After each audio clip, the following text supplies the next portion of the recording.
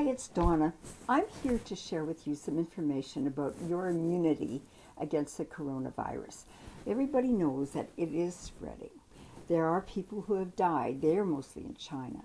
Now, in North America, there have been some confirmed cases. They seem to be mild and they seem to be under control.